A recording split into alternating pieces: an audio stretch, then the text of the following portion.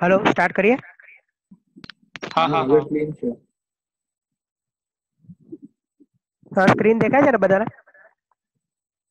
હા. ઓકે. સો સ્ટાર્ટ કરીએ આપણે. ટોપિકનું નામ છે mechanical power transmission in belt drive right so power transmission actually electrical power transmission પણ છે. પણ આપણે લોકો વાત કરશું ફક્ત કઈ અત્યારે મિકેનિકલ પાવર ટ્રાન્સમિશન રાઈટ તો મિકેનિકલ પાવર ટ્રાન્સમિટ કરવા માટે ઘણા બધા ડિવાઇસીસ વપરાય મિકેનિકલ ડિવાઇસીસ બરાબર? એમાંથી બે અલગ અલગ ટાઈપ આવે. એક આવે ફ્લેક્સિબલ રાઈટ અને બીજા આવે પેલા રિજિડ એ રિજિડ વાળો આપણે નેક્સ્ટ ટાઈમ સ્ટાર્ટ કરશું. અત્યારે આપણે ફ્લેક્સિબલમાં ધ્યાન આપવાનું છે. ફ્લેક્સિબલની અંદર બે કેટેગરી આવે.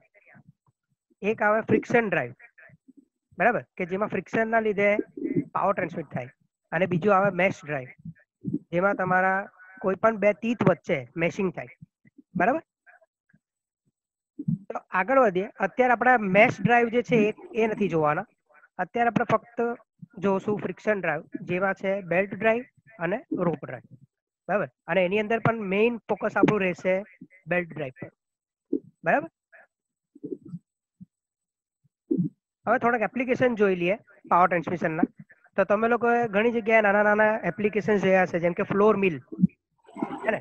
આપણે લોટ દળવા જઈએ તે મશીન પછી સીવિંગ મશીન પછી bicycle automobile vehicles compressor mixer washing machine પછી મશીન ટૂલ્સ આપણા લેથ મશીન ને બધા. પછી મોટા મોટા એલિવેટર્સ બરાબર? બીજા મોટા મોટા હેવી મશીન્સ રાઈટ અને એકદમ સિમ્પલ વાત કરીએ તો ઘરની અંદર જે આપણે પંપ હોય પાણી મોટર અને પંપનું જે કોમ્બિનેશન હોય ને, તેની અંદર બી પંપ વપરાય. રાઈટ બેલ્ટ વપરાય. રાઈટ તો આગળ વધીએ આપણે. મેઇન ત્રણ ટાઈપના બેલ્ટ આપણે જોવાના છે. એક છે flat belt flat belt V belt અને રોપ બેલ્ટ આ ત્રણે ત્રણનું કન્સ્ટ્રક્શન થોડું તમે જોઈ શકો છો. ફ્લેટ બેલ્ટમાં શું હોય, તો એની જે પુલી છે એનું ક્રોસ સેક્શન બતાવેલું છે કે ઉપરથી એ ફ્લેટ હોય. બરાબર? અને એની ઉપર આપણો ફ્લેટ બેલ્ટ લગાવેલો છે. આ જે ફ્લેટ બેલ્ટ દેખાય છે તે. બરાબર?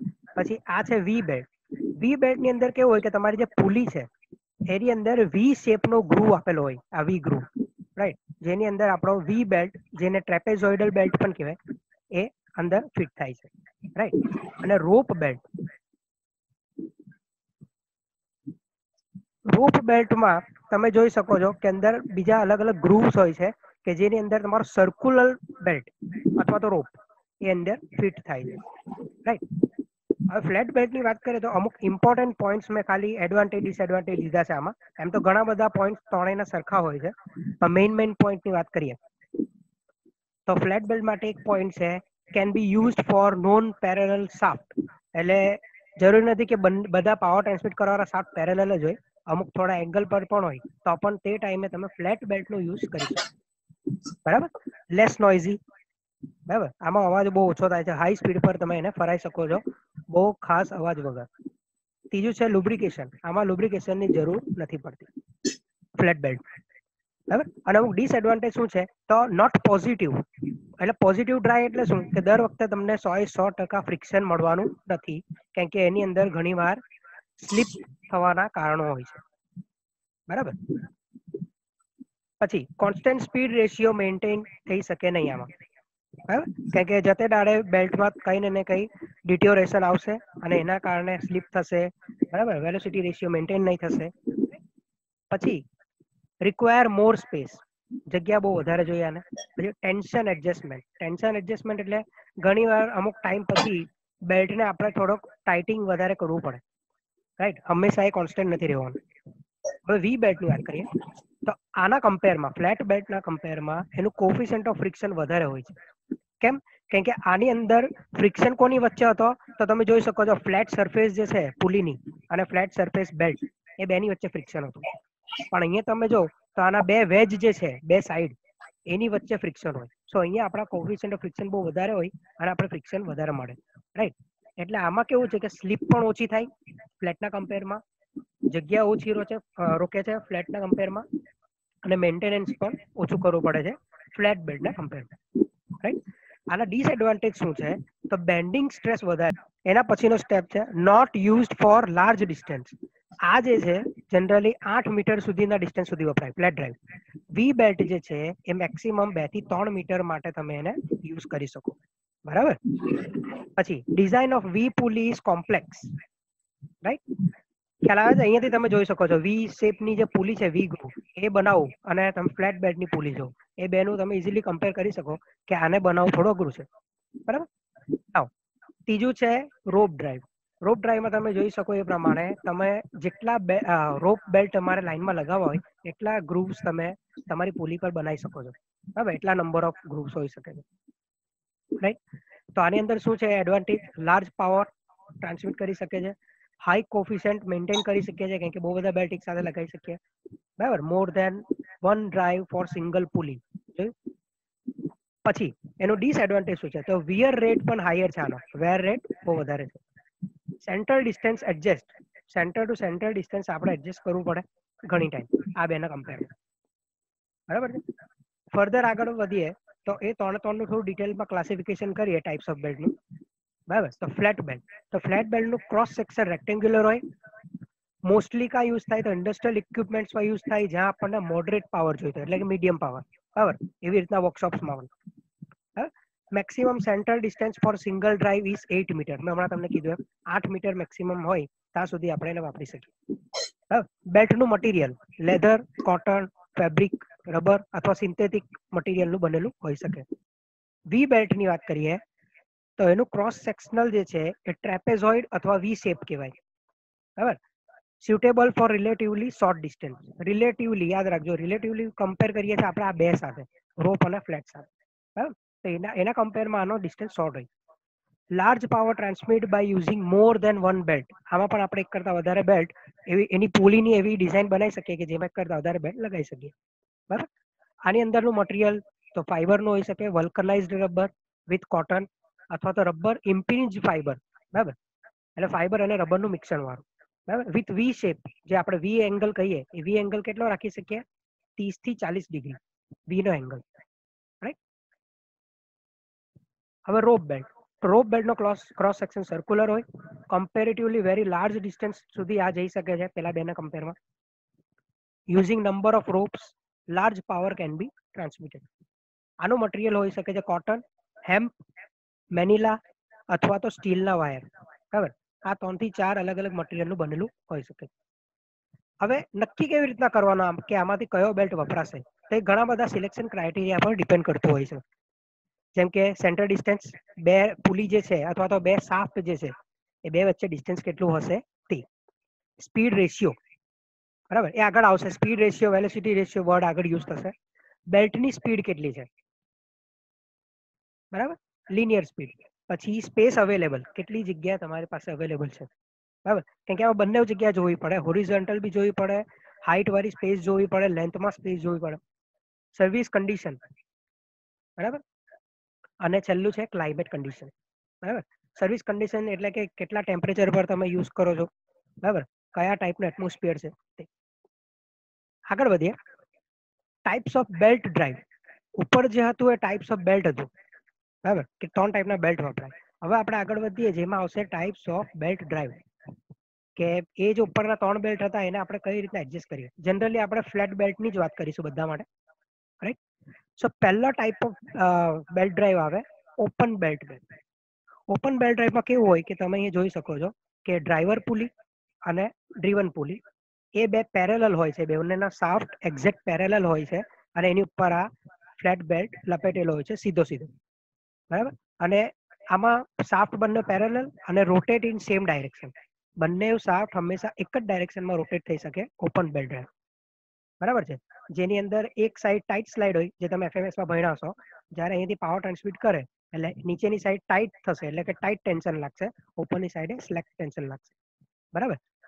હવે આ બહુ ઇમ્પોર્ટન્ટ ફોર્મ્યુલા છે, જેનું આખું ડેરિવેશન હોય છે, પણ આપણે ડિટેલમાં જવાની જરૂર નથી.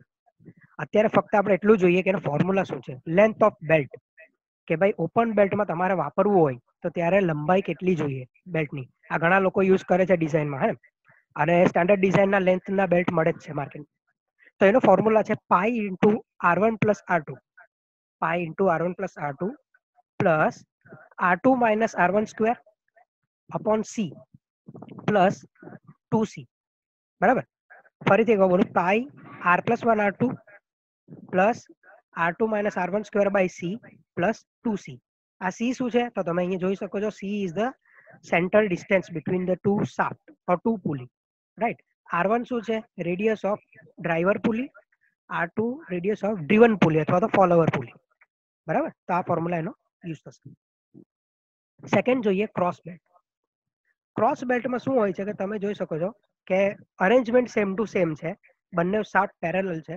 પણ જ્યારે આપણને એક આનું ડાયરેક્શન જે છે સપોઝ ક્લોકવાઇઝ છે, પણ આઉટપુટ શાફ્ટનું ડાયરેક્શન આપણને ઊંધું જોઈતું હોય, એટલે કે એન્ટી ક્લોકવાઇઝ ઓપોઝિટ તે ટાઈમે આપણે આ અરેન્જમેન્ટ કરવી પડે કે આ બેલ્ટને આમ ફરાઈને બીજા પુલી પરથી કરવામાં આવે, એટલે આખો ક્રોસ કરીને ફિટ કરવામાં આવે. રાઈટ તો આના માટે જે લેન્થની બેલ્ટ જોઈએ બેલ્ટની જે લેન્થ જોઈએ, એનો ફોર્મ્યુલા અહીંયા તમે જોઈ શકો. Pi R one plus R two plus R two plus R one square by two આ અને આ ફોર્મ્યુલામાં એક જ ફરક છે. આ R two minus R one છે, આ R two plus R one છે. રાઈટ અને એ કેવી રીતના આવ્યો અત્યારે હું ડિટેલમાં નથી જતો, પણ અહીંયા જે એંગલ ઓફ કોન્ટેક્ટ કહેવાય બેલ્ટ અને પુલી વચ્ચે, ત્યાં આ ક્રોસ વાળાની અંદર એંગલ ઓફ કોન્ટેક્ટ વધારે હોય છે, બંને બાજુનો સેમ હોય છે. એટલે R one plus R two વપરાય છે. ઉપરવાળા ઓપનની અંદર કેવું હોય છે કે ક્લોઝ આપણા જે ડ્રાઈવર છે, તે જગ્યાએ આપણા કોન્ટેક વધારે હોય છે અને આ જગ્યાએ કોન્ટેક ઓછો હોય છે. બરાબર? એટલા માટે આટલો ડિફરન્સ છે લંબાઈમાં. ક્રોસ બેલ્ટ અને ઓપન બેલ્ટ ત્રીજી કેટેગરી આપણે જોઈએ, જેને કહેવાય ક્વાર્ટર ટર્ન ક્વાર્ટર ટર્નને આપણે એવી રીતના બી કહી શકીએ કે જ્યારે આપણા બંને સાફ પરપેન્ડિક્યુલર હોય, બંનેની એક્સિસ એકદમ પરપેન્ડિક્યુલર જો એક એક્સિસ આ ઊભી છે વર્ટિકલ છે, અને આયરો આ હોરિઝોન્ટલ છે પ્લેન ઓફ ધ પેપરમાં પરપેન્ડિક્યુલર રાઈટ તો આપણે જો અહીંયા ટાર આર પરપેન્ડિક્યુલર જેમ કે રાઈટ એંગલ બરાબર? Rotate in one direction one definite direction એટલે કે હું આને આ ડાયરેક્શનમાં ફેરવું છું, તે પ્રમાણે આયરો પણ, એ પ્રમાણે એની બીજી ડાયરેક્શનમાં ફરશે. બરાબર છે? હવે આમાં શું ધ્યાન રાખવા જેવું છે? તો વિથ ઓફ ધ પુલી ઉપરના જે બે કેસ હતા, એના કરતા આના, આની જે પુલી હોય છે એની પહોળાઈ જે છે એ વધારે રાખવી પડે. કેટલી વધારે તો એ વન પોઈન્ટ ફોર ટાઈમ્સ આપણા બેલ્ટની જો, બેલ્ટની પહોળાઈ જો બી હોય, તો આપણા પોલીની પહોળાઈ one point four times B જેટલી રાખવી પડે સ્પેશિયલી ક્વાર્ટર ટર્ન માટે. બરાબર? અને પાવર ક્યારે ક્યારે યુઝ થાય એરિયા બેલ્ટ જ્યારે આપણે નાઇન્ટી ડિગ્રી પર પાવર ટ્રાન્સમિટ કરવાનો હોય. રાઈટ પછી છે ચોથા type belt drive with idler pulley અથવા તો જોકી પુલી અહીંયા તમે જોઈ શકો કે આ ત્રીજી પુલી વચ્ચે લગાવેલી છે. એને આઇડલર પુલી અથવા તો જોકી પુલી કહેવાય. એને એટલા માટે જોકી પુલી અથવા આઇડલર કહેવાય કે એ જે છે પાવર ટ્રાન્સમિશનમાં કોઈ મોટો ફાળો નથી આપતું. એનું કામ ખાલી એટલું જ છે કે આ વચ્ચેનો જે કોન્ટેક રેશિયો વધારે. એટલે સપોઝ બને એવું કે આપણે બે સેન્ટર ટુ સેન્ટર ડિસ્ટન્સ જ્યારે ઓછો અવેલેબલ હોય. બરાબર? અને આપણને એરિયા ઓફ કોન્ટેક વધારે જોઈતો હોય. તે ટાઈમે આપણે શું કરીએ ઘણીવાર કે આ આઇડલર પુલી લગાવીએ જેથી કરીને આપણો કોન્ટેક એરિયા વધે. બેલ્ટનો નાનો. બરાબર? જો તમે અહીંયા વાંચી શકો it is used with open belt drive centre distance is less જ્યારે સેન્ટર ડિસ્ટન્સ લેસ હોય, અને area of contact is to be increased area of contact જ્યારે વધારે જોઈતો હોય. બરાબર? તો તે ટાઈમે આપણને હાઈ વેલોસિટી રેશિયો જોઈતો હોય, ત્યારે આપણે આવી રીતે એક એક્સ્ટ્રા પુલી લગાવવી પડે. બરાબર? એનું કામ ફક્ત એટલું જ છે કે એ ફરશે જ ખાલી. એ પાવર ટ્રાન્સમિટ નહીં કરશે. બરાબર? પણ એ ખાલી સિમ્પલી ફર્યા કરશે. બરાબર? એટલે એનો જે સાફ્ટ હશે, એમાં એનો કોઈ મોટો ફાળો નહીં હશે આમાં પાવર ટ્રાન્સમિટ એનો જ એક બીજો ઉપયોગની વાત કરીએ, તો સપોઝ કે આપણો એક ઇનપુટમાંથી બહુ બધા પેરેલલ શાફ્ટમાં આઉટપુટ આપવું હોય, એક, બે, ત્રણ, એવી રીતના બહુ બધા, તે ટાઈમે પણ આપણે આઇડલર પુલીસ યુઝ કરી શકીએ. તમે જોઈ શકો છો કે એક શાફ્ટમાંથી, એક ઇનપુટમાંથી આપણે ત્રણ પેરેલલ આઉટપુટ શાફ્ટ છે, બરાબર? અને એને આપણે ટ્રાન્સમિટ કરીશું બે આઇડલર પુલીની મદદથી, બે આઇડલર પુલી વચ્ચે ફિટ કરેલી છે, અને એની મદદથી આપણે સેમ ડાયરેક્શનમાં ત્રણ અલગ અલગ પેરેલલ શાફ્ટ પર પાવર ટ્રાન્સમિટ કરી શકીએ છીએ. આ એનો ઉપયોગ છે, બરાબર? પછી સૌથી ઇમ્પોર્ટન્ટ છે કમ્પાઉન્ડ બેલ ડ્રાઈવ કમ્પાઉન્ડ એટલા માટે કે આની અંદર એક કરતા વધારે સ્ટેજમાં આપણે આપણા બેલ્ટ ડ્રાઈવને એડજસ્ટ કરેલું હોય. જેમ કે અહીંયા તમે જોઈ શકો છો, એક એક ઓપન બેલ્ટ છે, એની સાથે સાથે બીજો ઓપન બેલ્ટ એટલે કે બે સ્ટેજમાં છે આ ડ્રાઈવ આ એક જે વચ્ચે વાળો સાપ છે ઇન્ટરમીડિયેટ સાપ, એની ઉપર બે પુલી લગાવેલી હોય, એક પુલી અને બીજી પુલી બરાબર? આ પહેલી જે પુલી છે, એ ડ્રાઈવર પુલી છે, અને એનો બેલ્ટ જે જાય છે, એ એની ડ્રીવન અથવા તો ફોલોવર પુલી થઈ જાય. બરાબર? અને એ જ સાફની ઉપર બીજી એક પુલી લગાવેલી હોય, જે પછી આગળ ડ્રાઈવર પુલી થઈ જાય સેકન્ડ સ્ટેજની અને એનો બેલ્ટ આગળ જઈને ચોથી પુલી પર જાય, એ એની ડ્રીવન પુલી તમે જોઈ શકો કે પહેલી પુલી અને ત્રીજી પુલી જે છે, એ ડ્રાઈવર પુલી તરીકે કામ કરશે. અને બીજી પુલી અને ચોથી પુલી જે છે, એ ડ્રીવન એટલે કે ફોલોવર પુલી તરીકે કામ કરશે. તો થોડું ડિટેલમાં વાંચીએ કે ડિસ્ટન્સ બિટવીન ધ સાફ્ટ જ્યારે બહુ મોટો હોય અને લાર્જ ડિસ્ટન્સની સાથે સાથે હાઈ વેલોસિટી રેશિયો પણ જોઈતો હોય. તે ટાઈમે આપણે કમ્પાઉન્ડ બેલ્ટ ડ્રાઈવ યુઝ કરવો પડે. બરાબર છે? તો two or more stages are use to transmit the power right આની અંદર એક મહત્વની વસ્તુ છે કે જ્યારે બેથી ત્રણ સ્ટેજસ હોય, તો એનો વેલોસિટી રેશિયો કઈ રીતે કેલ્ક્યુલેટ થાય? તો total velocity ratio is equal to velocity ratio of that is stage one multiply by velocity ratio start stage two એવી રીતના સ્ટેજ થ્રી સ્ટેજ ફોર હોય, તો મલ્ટીપ્લાય થતા જાય બધાના વેલોસિટી રેશિયો આ વેલોસિટી રેશિયો બહુ જ ઇમ્પોર્ટન્ટ પોઈન્ટ છે from this belt point of view જે આપણે આગળ વધશું ત્યારે જોઈશું બરાબર? બીજી વસ્તુ વેલોસિટી રેશિયોમાં જનરલી આપણે બેલ્ટની સ્લીપને નિગ્લેક્ટ કરીએ છીએ. રાઈટ બીજી એક કેટેગરી જોઈએ સ્ટેપ એન્ડ કોલ પુલી અથવા સ્ટેપ ઓર કોન પુલી એમાં છે ને, તમારી પુલી જે છે એ બે ત્રણ અલગ અલગ સ્ટેપમાં હોય છે, નાનાથી મોટી, તમે જોઈ શકો છો. અને નીચેની સાઈડે નાનાથી મોટી, હે ને? અને આવી રીતના અરેન્જ કરેલું હોય. એક સાઈડ નાનાથી મોટું જાય, તો એક સાઈડ મોટેથી નાનું જાય. રાઈટ આનો ફાયદો શું છે કે તમારે સાપની સ્પીડ હંમેશા કોન્સ્ટન્ટ જ રહેશે, પણ તમે જ્યારે તમારો બેલ્ટ અહીંયા શિફ્ટ કરશો અલગ અલગ પુલી પર, તો તમને અલગ અલગ સ્પીડ રેશિયો મળશે. અહીંયા તમે જોઈ શકો છો કે different speed are obtain with shaft running at constant speed એટલે ભલે તમારો સાફ્ટ કોન્સ્ટન્ટ સ્પીડ પર હોય પણ તમને એના લીધે અલગ અલગ સ્પીડ મળી શકે છે. બરાબર? Without changing the speed of this shaft right હવે set of pulley are arrange as shown in the figure ફિગરમાં જોયા પ્રમાણે લગાવેલી મેં તમને કીધું નાનાથી મોટું અને બીજી બાજુ મોટેથી નાનું. બરાબર છે? આ કેમાં યુઝ થાય છે? તમે આપણા કોલેજમાં પણ લેથ મશીનમાં જોયું હશે. લેથ શેપર સ્લોટર પ્લેનર એ બધામાં આ પુલી વધારે યુઝ થતી હોય છે. કેમ કે આપણે એમાં સ્પીડ વેરી કરવાની હોય. રાઈટ હવે સૌથી ઇમ્પોર્ટન્ટ હજી એક કેટેગરી છે ફાસ્ટ એન્ડ લૂઝ પુલી આમાં ધ્યાન રાખજો ફાસ્ટ એટલે સ્પીડમાં ફરે એવું નથી. અહીંયા ફાસ્ટનો મિનિંગ શું છે? ફિક્સ્ડ ફાસ્ટનર આપણે જે ભણેલા ને એફએમએસમાં. એફએમએસમાં આપણે ભણેલા. હલો આપણે જે ફાસ્ટનર ભણેલા, એ ફાસ્ટ કરે છે. કી કી કરેલું હોય? આ બે પુલી તમને દેખાય? અહીંયા બે અલગ અલગ પુલી છે. આ જે એક પુલી છે, એ ફિક્સ કરેલી છે. એટલે કે કી કરેલી છે. કી થી આપણે એને સાફ પર ફિક્સ કરી દીધી. બીજી એક પુલી છે, એને લૂઝ રાખેલી છે. એટલે કે સાફ્ટ અને આ પુલી વચ્ચે રિલેટિવ મોશન હોઈ શકે. અહીંયા પાવર ટ્રાન્સમિટ નહીં થાય.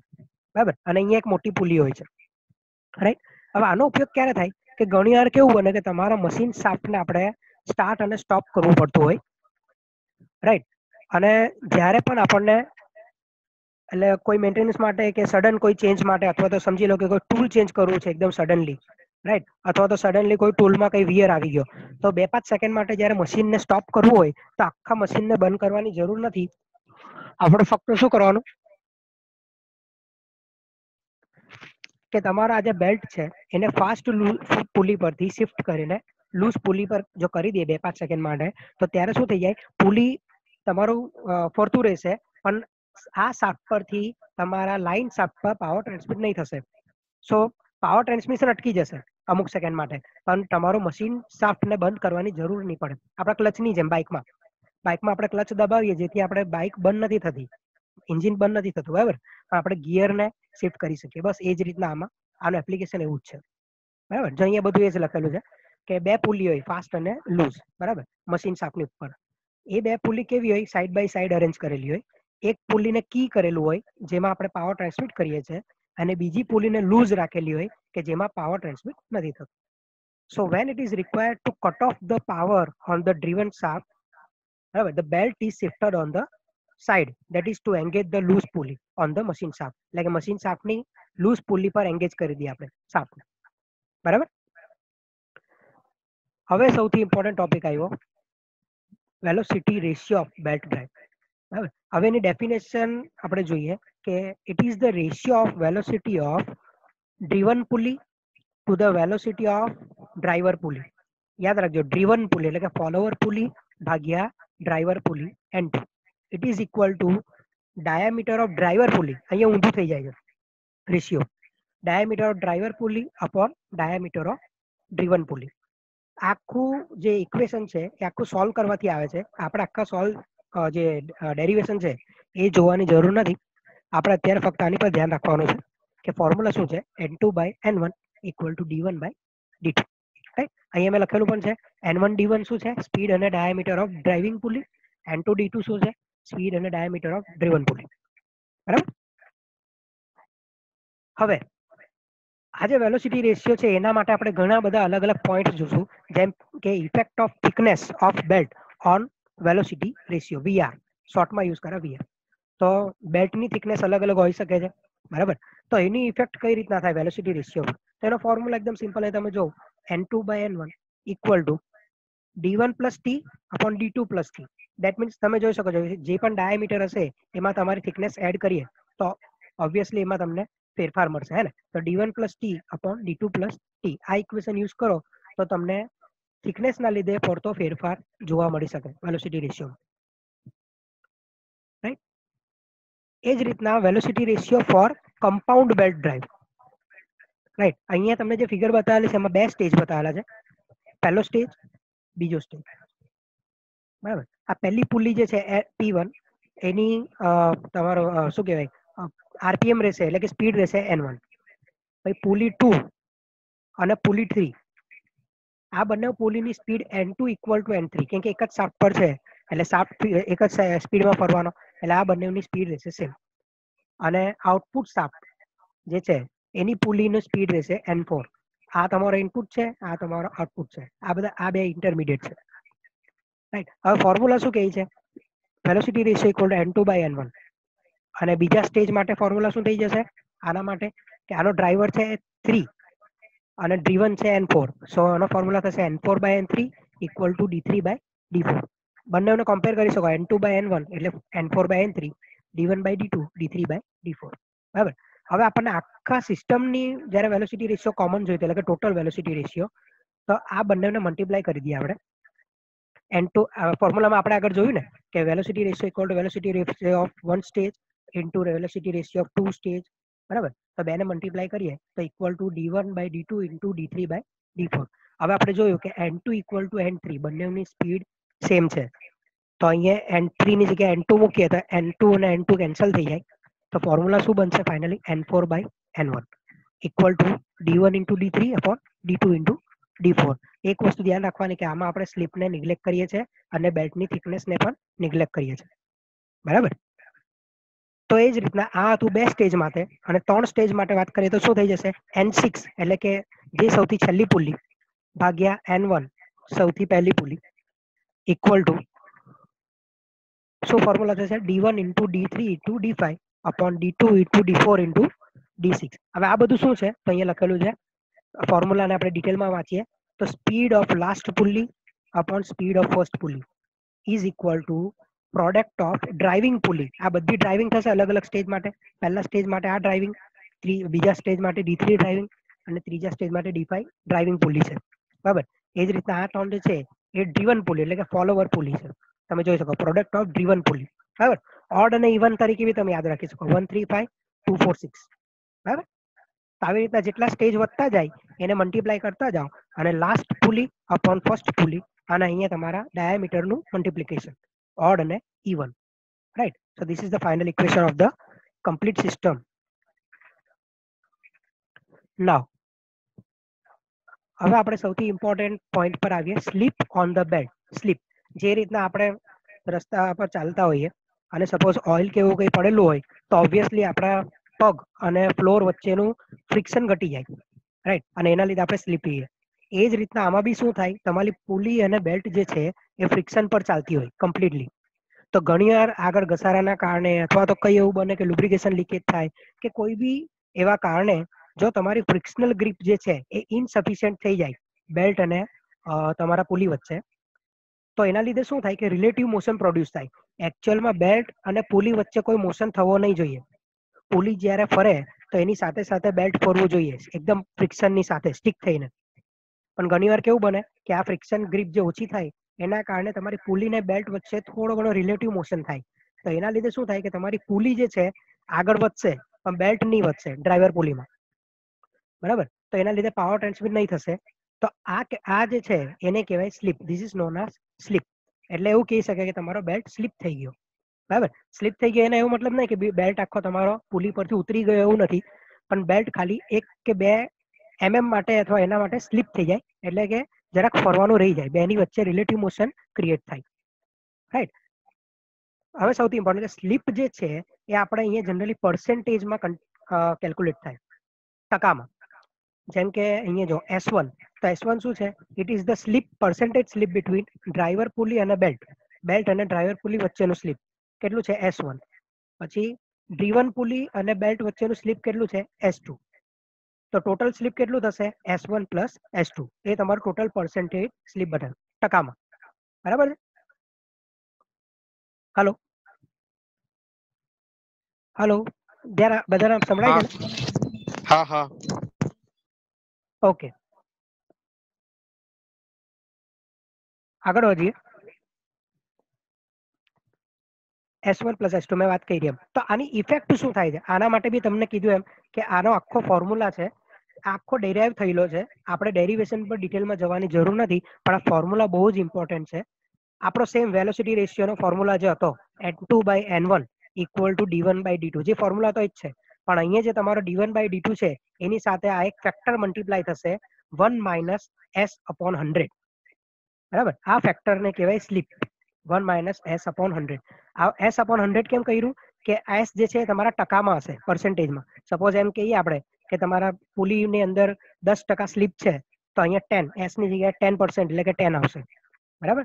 ટ્વેન્ટી પર્સન્ટ હોય તો ટ્વેન્ટી થર્ટી પર્સન્ટ હોય તો થર્ટી બાય હંડ્રેડ બરાબર? એટલે પોઈન્ટ થ્રી સો સો થી ડિવાઈડ થયા પછી point three point four point five થઈ જાય.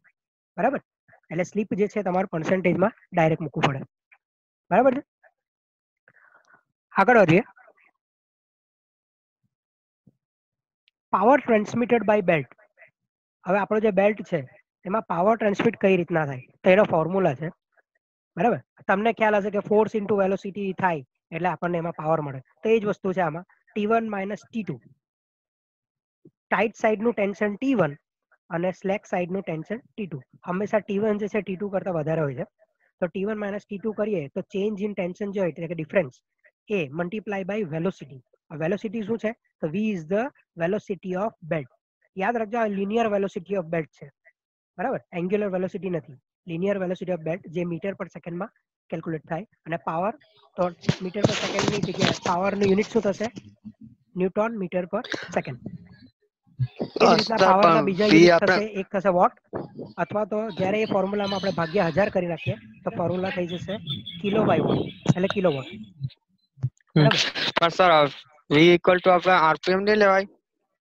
શું લેવાય? RPM V equal to RPM RPM rpm હા હા. એની લે એની આવે.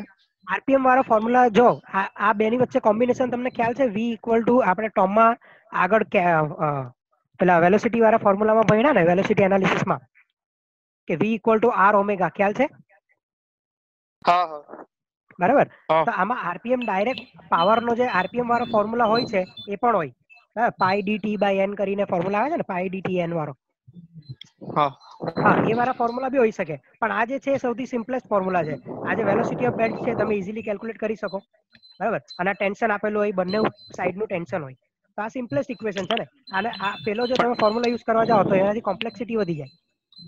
એમ નહીં પણ બેલ્ટ જે ફરે જે સ્પીડ પર એ સ્પીડ પુલી ફરે એ સ્પીડ પર જ તો બેલ્ટ ફરવાનો છે. એમ કેવું? હા ફરશે એ જ સ્પીડ પર. જો તમે એની અંદર સ્પીડ આપણો જે સ્લીપ છે એને કન્સિડર નહીં કરો તો પછી બંનેનું સ્પીડ સેમ જ રહેવાની. ખ્યાલ આવે હા હા. હવે આ ફોર્મ્યુલા એના પરથી જ આવેલો છે. આ જે T one minus T two into છે ને આ એ લોકોએ સિમ્પ્લિફાઈ કર્યો છે. Actually pi D T N વાળો જે ફોર્મ્યુલા છે એ જ છે. એ જે t છે એ ટી ની જગ્યાએ આપણે T one minus T two લખીએ અને આખો pi D N by sixty જે ફોર્મ્યુલા હોય છે pi D N by sixty right તો એ એની જગ્યાએ આપણા વી મૂકેલો છે. ખ્યાલ આવે ને હા એટલે જે ફોર્મ્યુલા છે સિમ્પ્લિફાઈ થઈ ગયો છે T minus T two into V જે તો એ જે ફોર્મ્યુલા છે એ વાળો ફોર્મ્યુલા તમને પાછળથી મોકલી આપા. બરાબર? એનામાંથી આ સિમ્પ્લિફાઈ કેવી રીતે થતો એ બતાવી દેવા. અત્યારે તમારે આ યાદ રાખવાનું છે simple T one minus T two multiply by velocity of belt okay. Hmm hmm. ખ્યાલ આવ્યો? હા કેમ કે પેલાની અંદર પછી તમારે પુલીનો એંગલ કેટલો ફોયરો જોવો પડે બરાબર? ને એ બધું બહુ ઘણું પાઈ છે એ બધું બહુ બધું ધ્યાનમાં લાવવું પડે. તો એનામાંથી આ સિમ્પ્લિફાઈ કરેલો ફોર્મ્યુલા છે. બરાબર. હેલો એ ડાઉટ છે? હા હા. નહીં નહીં નહીં નહીં. ને હા તો કઈ ડાઉટ હશે? તો આ એ જે ફોર્મ્યુલા માંથી આવ્યો કેવી રીતના એ હું તમને પાછળથી મોકલી આપે બરાબર? કે પાઈડીએન વાળા ફોર્મ્યુલા માંથી આ કેવી રીતના આવ્યું? બરાબર. હા હા. હા ચાલો. હવે એ જ રીતના આ પાવરનો ફોર્મ્યુલા હતો એવી રીતના આપણે ટોર્ક જે એમ ટી એટલે કે ટોર્ક બરાબર? એમ ટી મોમેન્ટ કહી શકાય ને ટોર્કને ટ્વિસ્ટિંગ મોમેન્ટ ટોર્કને આપણે ટ્વિસ્ટિંગ મોમેન્ટ પણ કહી શકાય. એટલે ટ્વિસ્ટિંગ એમ ટી લખેલું છે. તો ટોર્ક ઓન પહેલો ડ્રાઇવિંગ પુલિંગ એના માટે વન વન સફિક્સ યુઝ થશે. એમ T one equal to T one minus T two એટલે કે total tension produce into R એટલે કે રેડિયસ ઓફ ડ્રાઇવિંગ પુલી બરાબર? આપણે તમને ખ્યાલ છે ને? ફોર્સ ઇન્ટુ રેડિયસ એટલે કે મોમેન્ટ થાય ને? એ જ છે આયરું T one minus T two into R one અને એ જ રીતના torque exerted on driven pulley તો T one minus T two into R two બરાબર? તો ઘણી વાર આનો ઉપયોગ કરી શકાય. મોમેન્ટ ફાઇન્ડ કરવા માટે અથવા ટોર્ક ફાઇન્ડ કરવા માટે. બરાબર? આગળ વધીએ. સૌથી ઇમ્પોર્ટન્ટ પોઈન્ટ હવે કે ratio of driving tension for belt drive એટલે કે T one by T two બે ટેન્શનનો ratio T one by T two બરાબર. તો બેલ્ટ માટે એવું કહેવામાં આવે છે કે બેલ્ટની અંદર આ જે રેશિયો હોય છે T one by T two એ હંમેશા કોન્સ્ટન્ટ હોય છે. હવે અહીંયા આખું ડેરિવેશન તો નથી બતાવતો, પણ તમને મેઇન ફોર્મ્યુલા જે છે એ સમ સોલ્વ કરવા માટે કામ આવી શકે.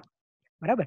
તો આ ફોર્મ્યુલા આપણે જોઈ લઈએ. એ બેનો જે ટેન્શનનો જે રેશિયો હોય છે T one by T two એ કેવી રીતના ફાઇન થાય? તો T one by T two is equal to E raise to એટલે કે exponential E raise to mu into theta right mu શું છે? કોફિશિયન્ટ ઓફ ફ્રિક્શન અને થીટા શું છે? એંગલ ઓફ કોન્ટેક્ટ ડ્રાઈવર પુલીનો જે આપણો મેઇન ડ્રાઈવર પુલી છે, કે જેના કારણે ફરવાનું છે, એ ડ્રાઈવર પુલી અને બેલ્ટ વચ્ચે જેટલો કોન્ટેક્ટ હશે થીટા એ થીટા ગણવામાં આવશે. અને મ્યુ જે છે, એ કોફિશિયન્ટ ઓફ ફ્રિક્શન અને આની અંદર ઇક્વેશનમાં યાદ રાખવાનું સૌથી ઇમ્પોર્ટન્ટ કે આજે થીટા જે છે, એ થીટા હંમેશા રેડિયનમાં જ હશે. બરાબર? એ ડિગ્રીમાં નહીં હશે. એટલે જો ડિગ્રી આપેલું હોય તો પણ એને આપણે રેડિયનમાં કન્વર્ટ કરીને આ ઇક્વેશનમાં યુઝ કરશું.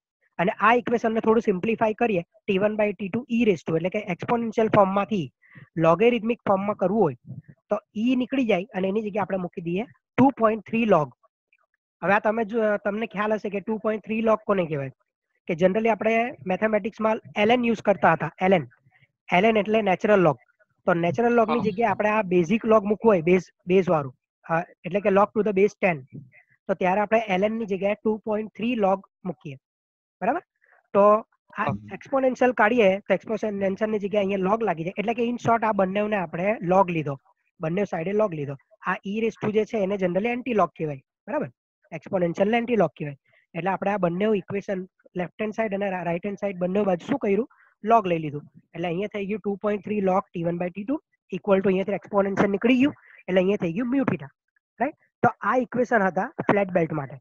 હવે આપણે કન્સિડર કરીએ વી બેલ્ટ તો વી બેલ્ટ માટે એક વસ્તુ આમાં એડ થઈ જશે.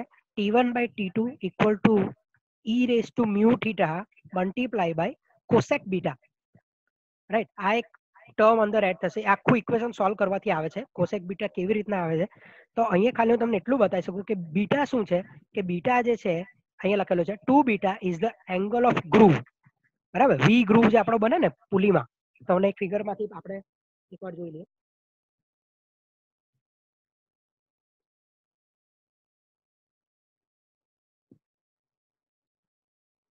આ જે છે અહીંયા આ અહીંયાથી આ લંબાઈ દઉં અને અહીંયા આપણો વી એંગલ આ તમે જોઈ શકો છો ને આ જે એંગલ બને આ એંગલને કેલ્ક્યુલેટ કરવામાં આવે two beta two into beta બરાબર છે તો ટ્વાઇસ બીટા આ એંગલ થાય રાઈટ હમ તો આગળ વધીએ હા.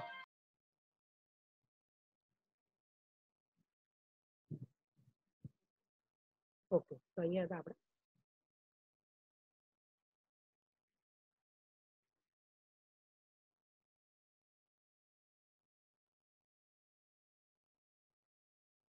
ઓકે. બે ઇક્વેશન ખ્યાલ આવ્યો? આની અંદર E raise to mu theta છે અને આની અંદર E raise to mu theta into cos beta અને એનો પણ આપણે લોગના ફોર્મમાં લખી શકીએ. Two point three log into T one by T two equal to mu theta cosec beta બરાબર? ઓકે અને અહીંયા મેં કીધું એમ, અહીંયા બધા નોટેશન આપેલા છે. ટી વન શું છે? ટાઈટ ટેન્શન ટી ટુ શું છે? સ્લેક ટેન્શન મ્યુ શું છે? કોફિશિયન્ટ ઓફ ફ્રિક્શન છે. Theta arc of contact in radian છે.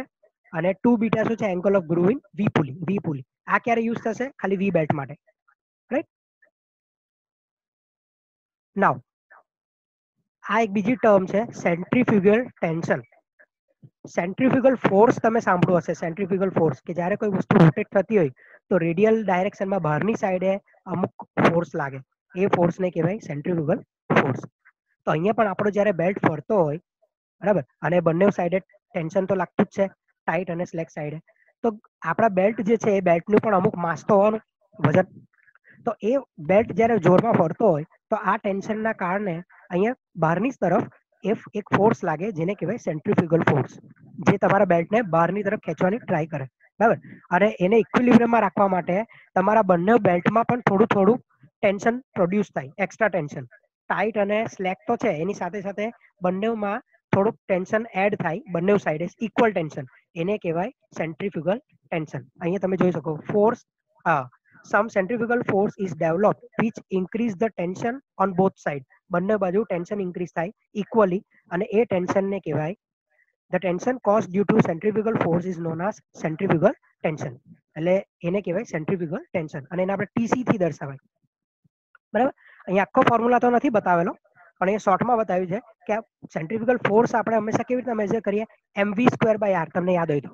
M V square by R M એટલે માસ ઓફ ધ બેલ્ટ તો અહીંયા M into R into del theta આખું જે આ મલ્ટીપ્લાય છે M into R into del theta એ કેટલા બેલ્ટનું છે? તો જેટલો પટ્ટો આપણે કન્સિડર કરીએ, આ પી થી ક્યુ આટલો જે પટ્ટો મેં કન્સિડર કરું, ખાલી એટલાની લંબાઈ જો હું ઘણું તો એટલાની લંબાઈ M into R into theta થાય. તો એટલો એટલો ટોટલ માસ આટલા બેલ્ટનું ટોટલ માસ કેટલું થશે? M into R into theta અને multiply by V square by R તો અહીંયા આર આર કેન્સલ થાય અને અહીંયા ઇક્વલ ટુ ભૂલથી આવી ગયું છે. આ ઇક્વલ ટુ નથી મલ્ટીપ્લાય છે. તો ટોટલ ફોર્સ કેટલો થાય? M into del theta into V square બરાબર? ફોર્સ થાય. હવે આ જે ફોર્સ મળે અને આપણો ટેન્શન વાળો એક ઇક્વેશન આવશે, એ બેને જ્યારે ઇક્વલી કમ્પેર કરવામાં આવશે, તો આપણને એક ફોર્મ્યુલા એક મળશે. ટેન્શન, એટલે કે centrifugal tension equal to M V square આ યાદ રાખજો, બહુ ઇમ્પોર્ટન્ટ ફોર્મ્યુલા છે. Centrifugal tension in the belt is TC equal to M into V square M શું છે? Mass of the belt per metre per metre length માટેની mass છે એમ બરાબર? એટલે જેટલી લંબાઈ માટે તમે કન્સિડર કરતા હોય, એટલી લંબાઈ તમારે એટલા માસમાં મલ્ટીપ્લાય કરી દેવાની. ત્યારે તમને એમ મળે. So M is kg per metre અને વી શું છે? વેલોસિટી ઓફ બેલ્ટ એટલે કે અથવા તો belt speed metre per second બરાબર? એટલે તમને ટોટલ ટેન્શન મળશે મળશે શેમાં? ન્યૂટનમાં. બરાબર? ચાલો આગળ વધીએ. હવે આ જે ટેન્શન જે મેં તમને આગળ કીધું એમ કે બંને સાઈડ પર ટાઈટ સાઈડ પર અને સ્લેક સાઈડ પર ઇક્વલી વધારો થશે. આ સાઈડ પર પણ ટીસી અને આ સાઈડ પણ ટીસી જેટલું વધારો થશે. તો તમે જોઈ શકો છો કે અહીંયા ઓલરેડી કયો ટેન્શન હતો? ટાઈટ સાઈડ પર ટી વન અને સ્લેક સાઈડ પર કેટલું હતું? ટી ટુ તો એમાં કેટલો વધારો થશે? તો તમે જોઈ શકો કે ટાઈટ સાઈડ પર મેક્સિમમ ટેન્શન કેટલું પ્રોડ્યુસ થશે હવે? ટી વન પ્લસ ટીસી જેટલું પ્લસ કરી દીધું. અને સ્લેક સાઈડ પર ટોટલ ટેન્શન કેટલું થશે? ટી ટુ પ્લસ ટીસી ખ્યાલ આવે છે? અહીંયા ટી વન પ્લસ ટીસી થઈ ગયું. અહીંયા ટી ટુ પ્લસ ટીસી થઈ ગયું. રાઈટ હવે, અહીંયા આપણને ખબર હતી કે T one is greater than T two તો એના પરથી આપણે શું કહી શકીએ કે ટી વન પ્લસ ટીસી એટલે કે ટોટલ ટેન્શન એટલે કે maximum tension on tight slide is greater than maximum tension on slack side. બરાબર? Even after considering the centrifugal tension એટલે સેન્ટ્રીફ્યુગલ ટેન્શનને આપણે કન્સિડર કરીએ તો પણ ફોર્મ્યુલા તો એ જ રહેવાની. આ બાજુનું ટેન્શન વધારે જ રહેવાનું. બરાબર?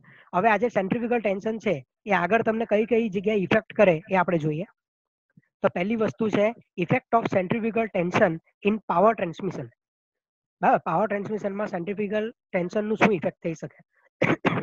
તો જો શું લખેલું છે considering the maximum tension due to centri centrifugal tension આ શોર્ટમાં લખેલું છે મેં સેન્ટ્રીફ્યુગલ ટેન્શન તો મેક્સિમમ ટેન્શન સેન્ટ્રીફ્યુગલ ટેન્શન જો આપણે કન્સિડર કરીએ તો મેક્સિમમ ટેન્શન બંને બાજુ કેટલા થવાના તો પાવરનો ફોર્મ્યુલા શું થશે? T max minus T maximum two એટલે કે ટાઈટ સાઈડનું maximum tension minus slack સાઈડનું maximum tension multiply by V velocity એટલે ફોર્મ્યુલા તો એ જ છે.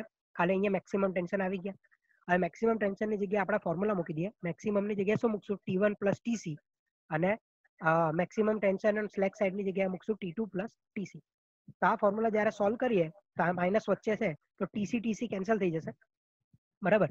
અને વધશે શું? T one minus T two into V હવે તમે જોઈ શકો કે આ ફોર્મ્યુલા શું આવ્યો? T one minus T two into V જ્યારે આપણે સેન્ટ્રીફ્યુગલ ફોર્સ હલો જ્યારે આપણે સેન્ટ્રીફ્યુગલ ફોર્સ કન્સિડર નહીં કરેલો હતો ત્યારે આ જ ફોર્મ્યુલા આપણને મળેલો હતો. આ જો, આપણો ફોર્મ્યુલા શું હતો? T one minus T two into P અને આપણે સેન્ટ્રીફ્યુગલ કોર્સ કન્સિડર કર્યો. એના પછી પણ આપણો ફોર્મ્યુલા એ જ આવ્યો પાછો. T two T one minus T two into V તો એના પરથી એક કન્ક્લુઝન આવે છે કે there is no considerable effect on power of this centrifugal tension એટલે કે સેન્ટ્રીફ્યુગલ ટેન્શનનો પાવર પર કોઈ ઇફેક્ટ થતો નથી. બહુ વધારે ઇફેક્ટ થતો નથી જેને આપણે નિગ્લેક્ટ કરી શકીએ. બરાબર છે? પણ હતો બેલ્ટ રેશિયો એ ફરીથી આપણે કેલ્ક્યુલેટ કરવો હોય તો એમાં ફોર્મ્યુલા શું હતી? T one by T two right તો એ જે T one by T two formula હતી, તો T one by T two ની જગ્યાએ આપણે શું મૂકી દઈએ? તમે અહીંયા જોઈ શકો છો. હવે ટી વનની જગ્યાએ શું મૂકી દે ટીસી આ બાજુ લઈ લે એટલે ટી મેક્સ માઇનસ ટીસી અને ટી ટુ ની જગ્યાએ ટી મેક્સ માઇનસ ટીસી બરાબર? તો માઇનસ થઈ જશે. એટલે એ બે અહીંયા મૂકી દઈએ.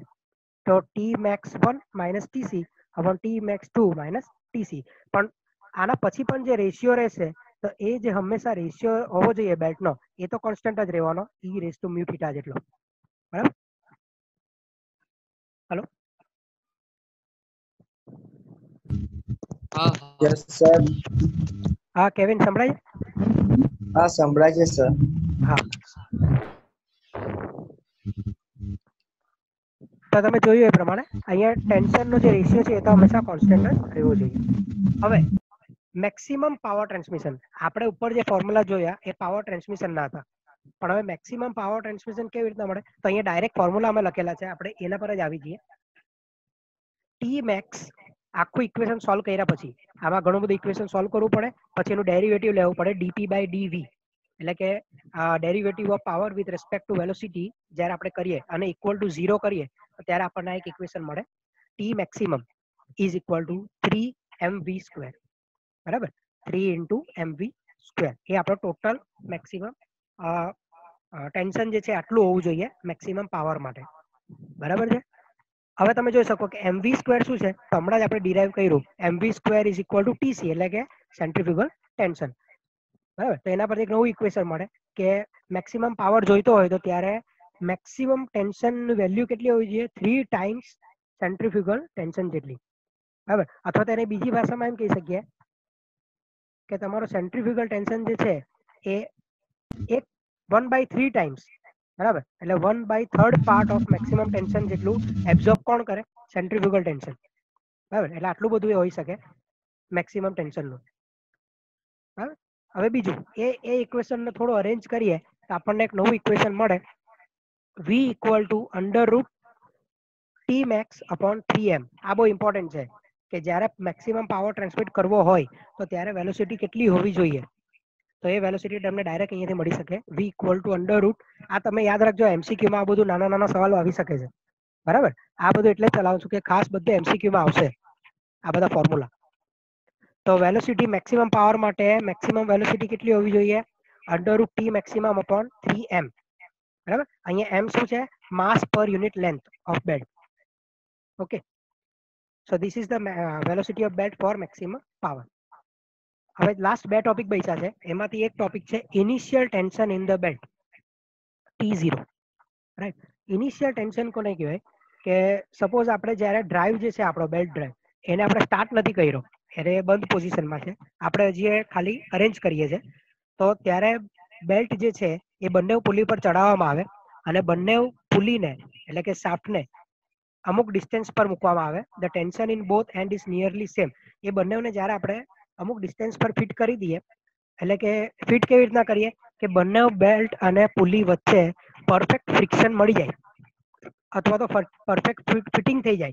છે ને? To create sufficient friction grip એકદમ પરફેક્ટ મળી જાય, તો તે ત્યાં સુધી આપણે બંનેનું centre to centre distance fit કરી દઈએ.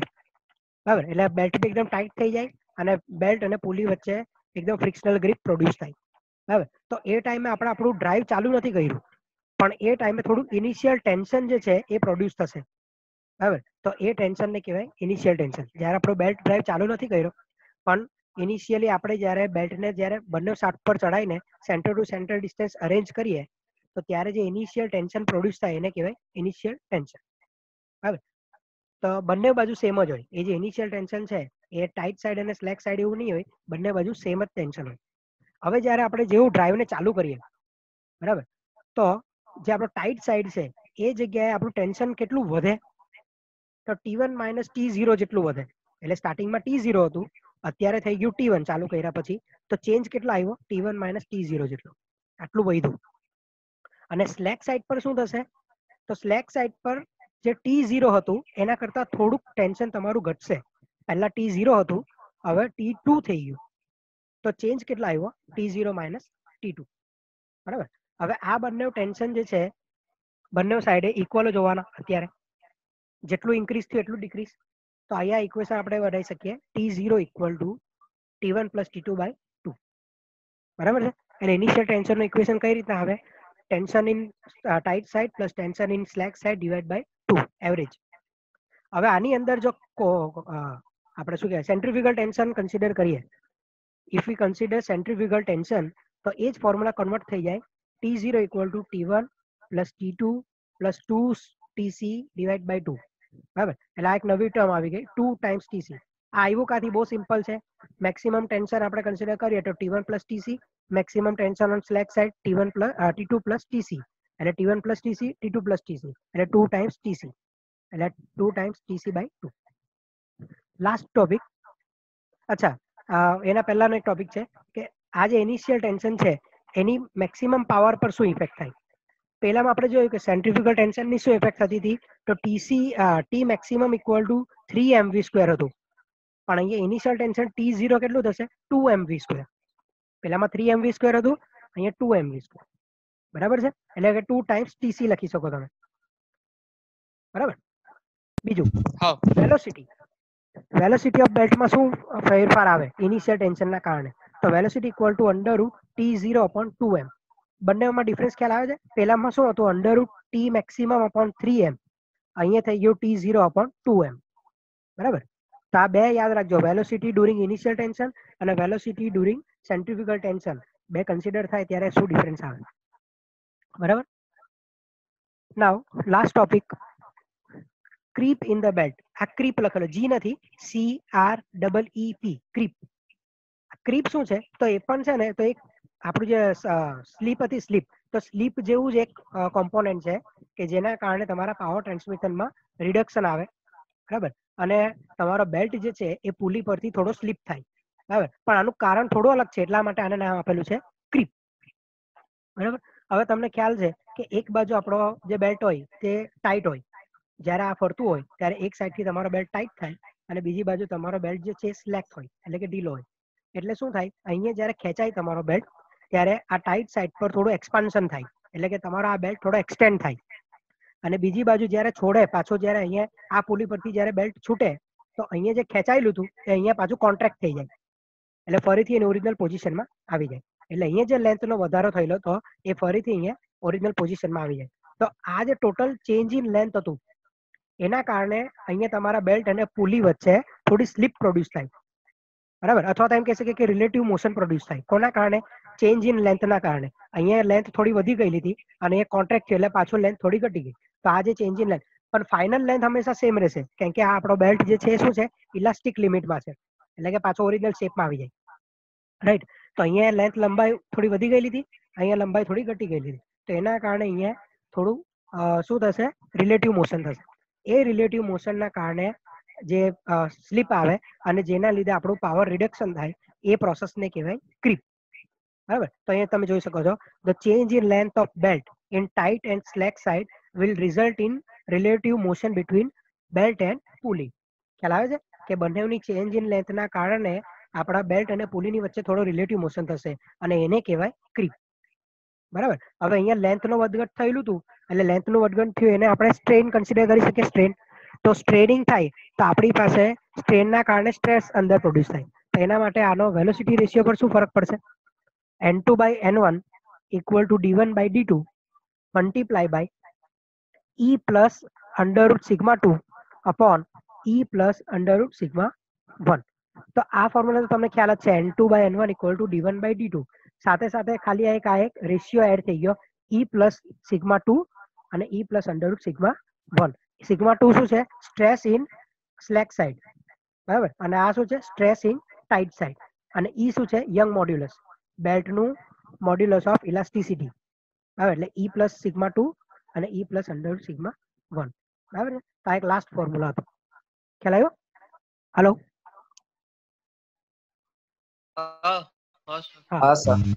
આટલા જેટલા ટોપિક્સ આપણે કવર કર્યા સાતથી આઠ ટોપિક એ બધાના ડેફિનેશન અને એ બધાના ફોર્મ્યુલા ખાસ ધ્યાન રાખજો. આ બધા નાના નાના ફોર્મ્યુલા જે છે આ હું જે પીડીએફ છે એ તમને ગ્રુપમાં મોકલી આપા. બરાબર?